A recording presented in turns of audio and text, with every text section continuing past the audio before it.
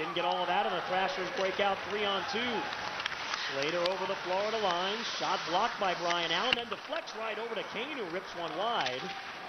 That puck carried out of the zone. Good Olesz chance with a hit there right in front of you, Billy. Good chance early on. Olesz throwing his big body around. That's how he's going to have to play this evening. Rostislav Olesz throwing the body check early on.